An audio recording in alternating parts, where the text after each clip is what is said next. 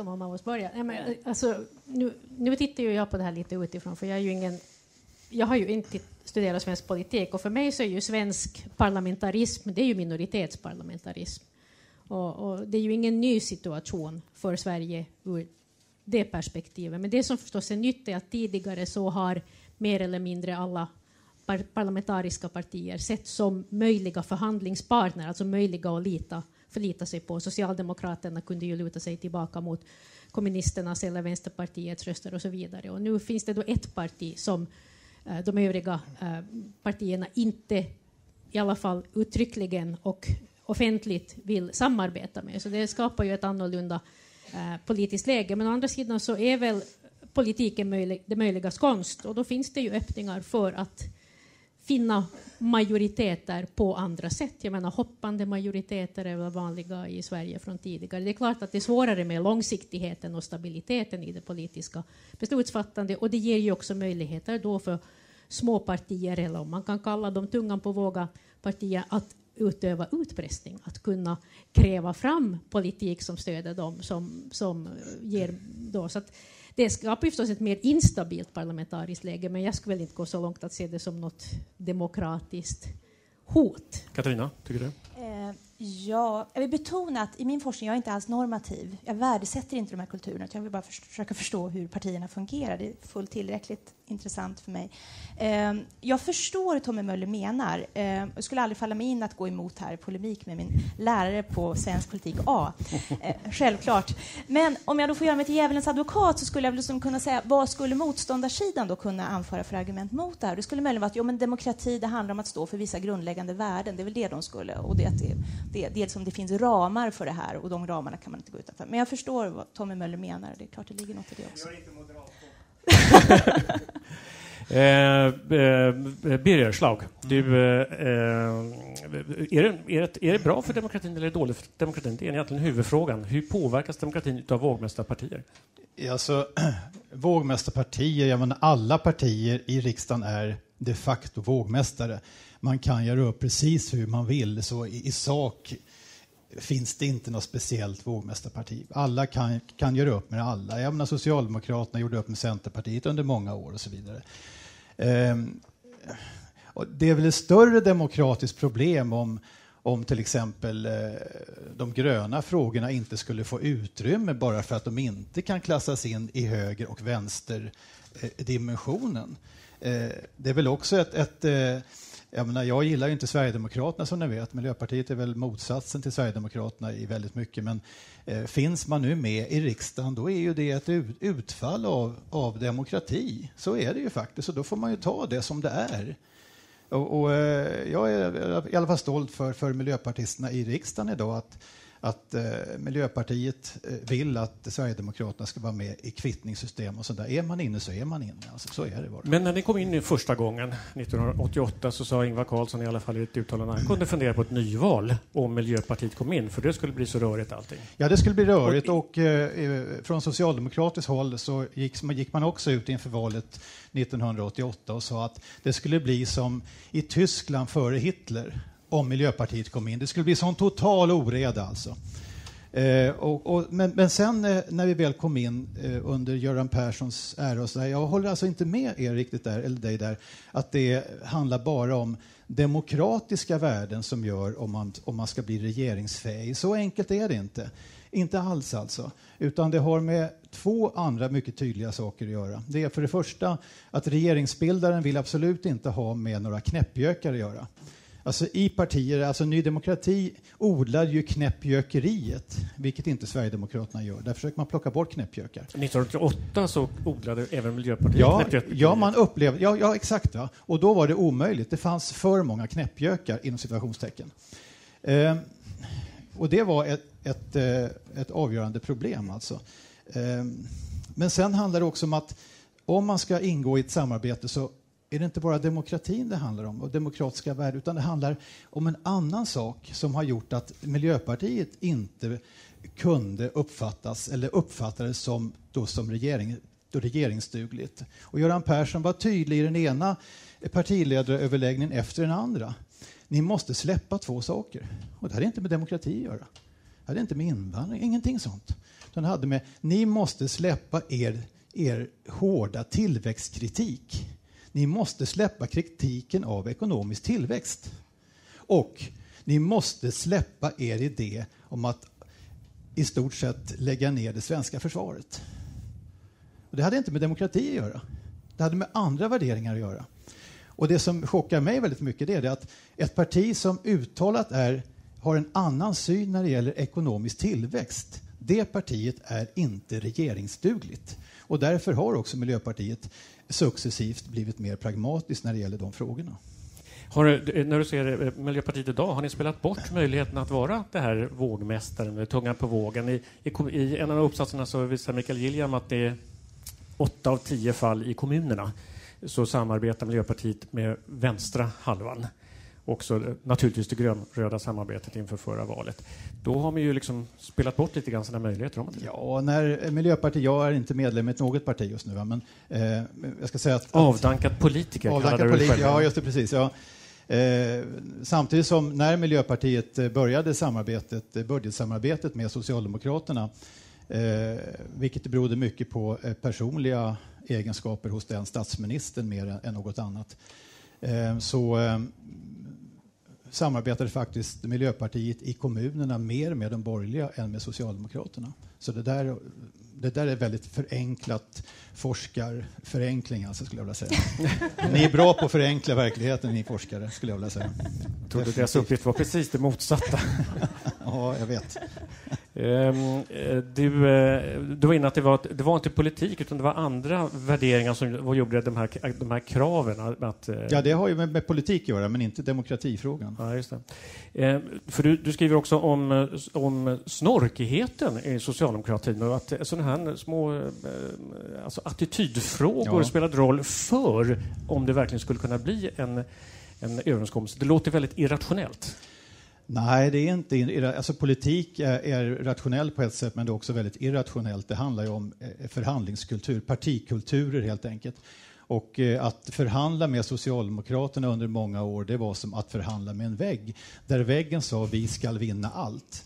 Medan att förhandla med de borgerliga partierna var en helt annan sak. Eh, därför borgarna har alltid varit vana att förhandla. Socialdemokraterna har alltid vetat att svansen i Vänsterpartiet har alltid hängt med om det har knipit. Eh, så därför har Miljöpartiet i kommunerna eh, haft mycket, mycket lättare att förhandla med de borgerliga. Därför där har man en förhandlingskultur. Socialdemokraterna har aldrig haft någon förhandlingskultur. Mm. Eh, Björn Söder, det var helt uppenbart när man läser er hemsida eh, och även när man hörde Jimmy Åkesson tala i söndags att ni strävar mot att uppfylla den här bilden som Ann-Katrin har, att ni att är ett mittenparti. Men så är särskilt framgångsrika i att samarbeta har ni ändå inte varit. Hur misslyckad är den där politiken då? Ja, men mittenparti har vi alltid kallat oss. Det är faktiskt medierna och våra politiska motståndare som givetvis har haft en strategi att eh, lägga oss långt, långt ut till höger och kalla oss högerextrema och högerpopulister och liknande. Och det beror ju på den kritik mot invandringspolitik som vi har fört och som har varit vår huvudfråga. Eh, där man då helt plötsligt, enligt vad som sägs, är ute och tassar i demokratins gränsmark. Och det anser inte jag, utan man måste kunna kritisera och diskutera all sorts politik. Men jag tror ju givetvis att det är en av de anledningarna, eller kanske den anledningen som gör att de andra partierna så konsekvent vägrar att officiellt i alla fall samtala med Sverigedemokraterna. Hade vi inte haft den frågan och drivit den frågan så hade ju inte, tror jag, det hade varit några bekymmer. Om det nu var ekonomisk tillväxt som var hindret från, för Miljöpartiet så är det ju just eh, vår kritik mot den förda invandringspolitiken som är hindret för oss för att i dagsläget eh, komma in i något sorts samarbete.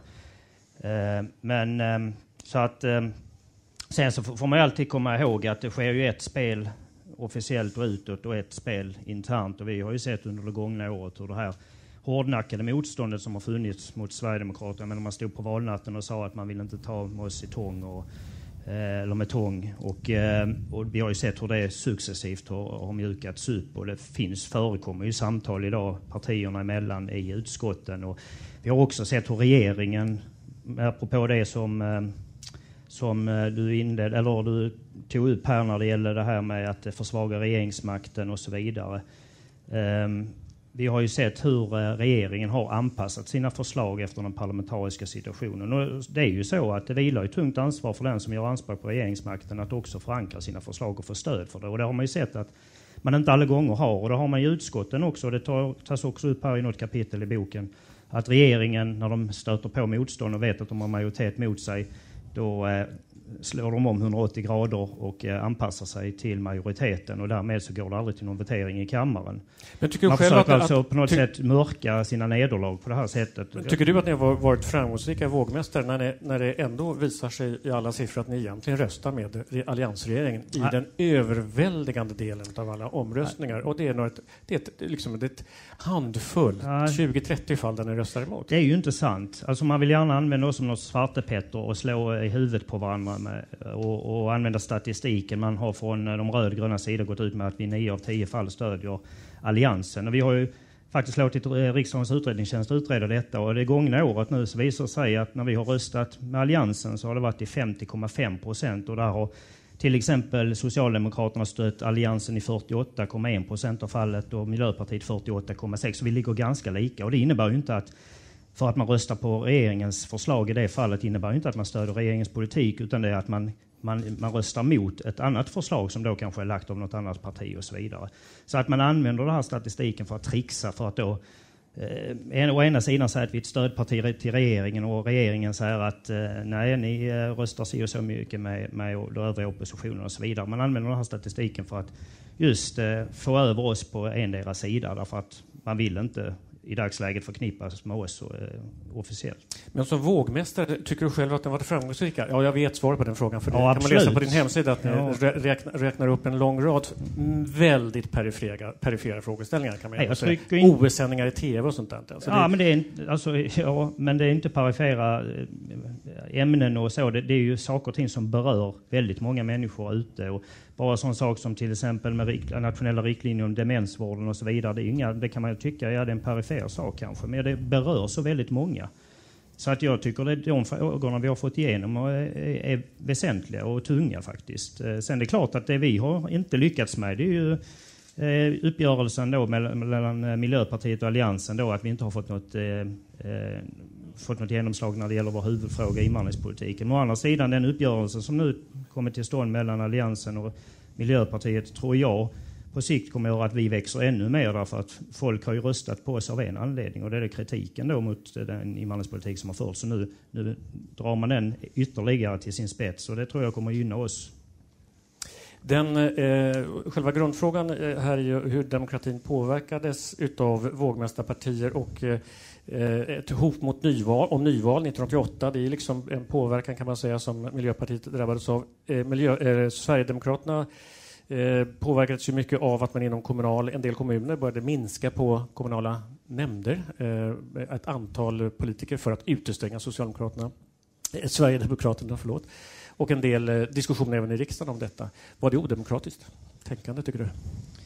Alltså, odemokratiskt, odemokratiskt. Eh, man har ju rätt enligt lagen att göra så, men sen kan man tycka att det är ett brott mot de demokratiska spelreglerna. Eh, jag tycker att det finns ju alltid en ambition att man innan ett val förrättas, att man gör upp om kommande spelregler, oppositionen tillsammans med de som innehar regeringen. Och att man också sen eh, lyder eh, de reglerna och spelar enligt dem. Jag, inte minst jag själv drabbades i Helsingborg efter valet 2006 där man då vi var då berättigade en kommunalrådspost till exempel. Men där gjorde man om regelsystemet efter valet när det stod klart att vi skulle erhålla en sådan för att vi inte skulle just få en kommunalråd. Och det väckte ju faktiskt väldigt stor irritation ute bland allmänheten för att även om man inte tyckte om vad Sverigedemokraterna står för så tyckte man att det här var ohederligt gjort. Och likaså i Malmö där man då minskade politiska nämnderna just för att inte Sverigedemokraterna skulle få plats. Ehm, så, att, så ni gillade, ni blev lite martyrer? nej, vi gillar inte det. Vi, vi, vill inte vara martyrer. Vi vill, vi vill vara ett parti som spelar efter samma regler som alla andra och också tillåts spela enligt de regler som alla andra spelar efter. Mm. Nej, men det som skiljer, jag menar, Ny Demokrati och Sverigedemokraterna eh, spelar ju på delvis samma spelplan, men det är en, en sak som skiljer väldigt mycket och det var att Ny Demokrati hade sin identitet att vara annorlunda, vara lite konstiga, eh, hålla på med jippo. Medan Sverigedemokraterna är ju precis tvärtom. De vill verka som, eller vill verkligen jobba för att vara ett, ett precis lika vanligt och tråkigt parti som alla andra. Eh, för att då bli etablerade. Så det är en helt annan syn. Så jag är fullständigt övertygad om att skulle det, eh, Sverigedemokraterna Eh, hålla sig kvar efter nästa val eh, och, och, kanske ett val till, eh, då kommer andra partier att samarbeta med Sverigedemokraterna. Jag är fullständigt övertygad om. Och det beror inte bara på andra partier utan det kommer också att bero på Sverigedemokraterna som kommer att, att såga av en del av, av sina värsta grenar, som jag ser värsta grenar. Mm. Så det är, det är eh, Ann-Katrins eh, från anpassning jo. till samarbete som blir verklighet? Ja, men där kan man väl också tillfoga att den här med, som i statsvetenskapliga litteraturen så kallar man dem om olika partiers reputational shields, alltså någon ryktessköld som de har. Och när man tittar ut över Europa idag, så de partier som har invandringskritik, islamkritik och också mycket anti-EU på sina på sin politiska dagordning. Alltså de som inte har en nationalistisk eller nynazistisk förflutet som man kan hänvisa till oberoende om det är giltigt eller ej, de klarar sig mycket bättre. Så de som är mest framgångsrika idag har börjat som andra partier. Agrarpopulister, region, region, regionala partier som Lega Nord, Flamsblock. Alltså det, det är någonting som kan användas mot de här partierna och kommer att, att göras det. Och det är ju därför till exempel Sannfinländarna, alltså rent politikmässigt när det gäller politiska sakfrågor så är de här partierna väldigt lika.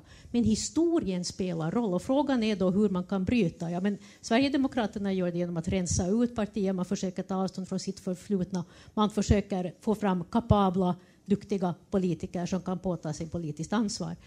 Medan Sannfinländarna med sitt historiska förflutna, som de har ju suttit i regeringen tidigare också, de, kan, de har ju till exempel personer som uttalar sig på ett sätt som Sverigedemokraterna aldrig skulle acceptera och då reagerar varken partier eller ens de övriga partierna. Så historien spelar roll här och frågan är om, om hur länge man kan då hänvisa till det och ifrågasätta partier. Men Sannfinländarna fick ju sparka en av sina utskottsordförande efter vanvettiga uttalanden. Det har, det har hänt så många andra saker också att det har, nog varit, det har varit en lång resa tills man har kommit dit. Mm. Eh, ett ord florerar hela tiden och det är ordet populism.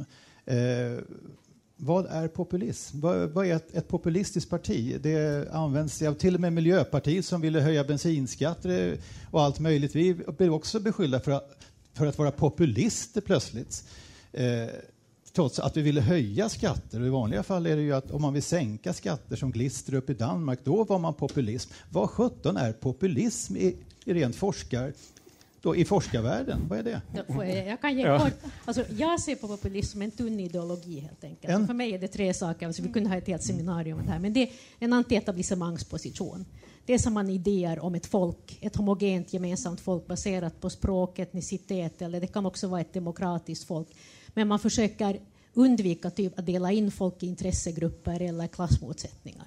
Och det tredje är då att man har den här tanken om ett demokratiskt, om folksuveräniteten, att det är folket som ska bestämma. Och då ställer man ju sig kritiskt till representativa institutioner, man vill ha folkomröstningar, man är också kritiska till oberoende politiska organ, alltså eller organ som har politiskt inflytande, typ centralbanker och sådär. Så men det här kan variera mellan olika partier. Till exempel Sverigedemokraterna har ju ingen stark antietablissemangsposition, medan det till exempel har Fremskrittspartiet i Norge, gamla danska Fremskrittspartiet och framförallt Sannfinländarna. Så att proportionen mellan de här. Sen så används ju populism väldigt slarvigt som opportunism i mm. vanligt språkbruk. Katarina också. Björn, du ska... Katarina först, det handlar om den här frågan. Mm. Ett kort tillägg bara till Tinkas utmärkta beskrivning och sammanfattning här. Så man brukar ofta ta upp det här alltså att det finns en heartland, alltså en längtan tillbaka till ett gyllene förflutet när allting var mycket bättre. Socialdemokraterna, är de populister? De längtar ju tillbaka ibland. Fast de, de har idéer om ändå, trots att man pratar om klasser, så ser de samhället uppdelat i olika grupper. Man försöker inte konstruera ett folk som står emot en elit. Alltså man har inte den här nej, nej, starka nej, polariseringen mellan en elit och ett Björn, varsågod. Jag, jag skulle bara kommentera det här med att de, som Birger var inne på, om vi, eh, om vi lever kvar efter nästa val, vilket jag hoppas givetvis, och den parlamentariska situationen består eh, och kanske vi till och med stärker vår roll, så är jag ju övertygad om att det här successivt kommer att luckras upp därför att man är tvingade till att förhålla sig till den parlamentariska situationen.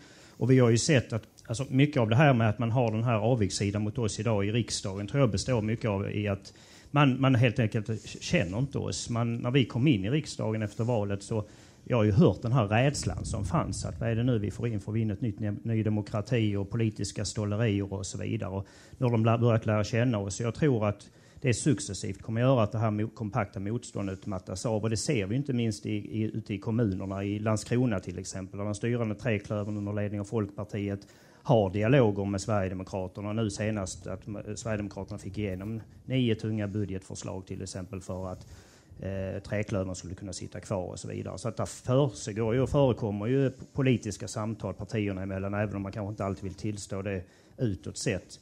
Och även trots den här partipiskan som oftast viner då från Stockholm så måste man förhålla sig till den parlamentariska situationen runt om i, i landet. Och jag tror att det, vi kommer att se den utvecklingen även i, i på riksnivå att eh, man kommer att mjukna och förstå att vi i Sverigedemokraterna är här för att stanna och man måste kunna samtala med oss. Jag menar det är väldigt märkligt att man, man pratar om att vi ska, för, eh, vi ska föra samtal med dikta, eh, diktatorer ute i världen därför att det är bättre för att vi ska mjuka upp de här samhällena för att försöka få demokrati till stånd och så vidare. Men oss kan de inte föra samtal med. Jag tycker det är väldigt, väldigt märklig inställning. Är det att de, är de gamla stora etablerade partierna som helt enkelt är rädda för nykomlingar? Reaktionen mot er var ungefär likadan. Eh, för det, de här tidningsrubrikerna från er mm. tid var ju grönchocken och sådana ja, saker. Ja, ja, Lars Nord skriver om detta i, i boken, ni kan läsa mer om detta. Och likadant så stod det eh, i tidningarna i, före valet 2010 att eh, att ehm, eh, kaos väntar Sverige och så vidare. En väldigt, eh, och så blev det ju varken, det blev ingen grön chock och det blev inte kaos heller. Alltså är det bara de etablerade partierna som pinkar revir på något sätt? Jo, men det ligger väl till grund eh, naturligtvis. Självklart, de två stora partierna skulle ju vilja ha, Ingvar Carlsson har, har till och med drivit den här linjen en gång i tiden, ett, ett, ett reellt ett tvåpartisystem med, med enpartivalkretsar och sånt där. Eh, så att eh, det underlättar ju naturligtvis. Eh, det, under, det blir starka regeringar som, som Thomas tycker är viktigt kanske. Och så, men det blir inte så demokratiskt kan jag tycka då. Sådär, faktiskt. Men det var något annat du skulle säga? Ja, väldigt kort. Alltså, du sa i början att Centerpartiet skulle man nog ha att göra med om man skulle kompromissa och det vet inte fan. Det kan finnas sånt som komplicerar förhållandet mellan eh, Miljöpartiet väldigt, och Centern. Får jag kort berätta vad som hände 2002? Eh, Miljöpartiet eh, hade förhandlingar med Socialdemokraterna om att eh, bilda regering. Göran Persson sa nej, nej, nej. Miljöpartiet ha, hade fortfarande inte släppt några frågor och det var uteslutet. Miljöpartiet sa vi eh, måste ingå i en regering, annars blir det inget samarbete. Då började man förhandla med Kristdemokraterna, Centerpartiet och Folkpartiet.